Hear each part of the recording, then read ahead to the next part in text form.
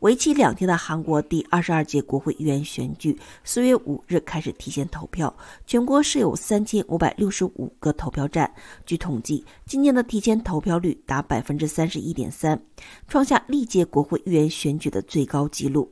根据韩国中央选举管理委员会发布的初级统计，四千四百二十八余万登记选民中，有一千三百八十五万名选民参加提前投票。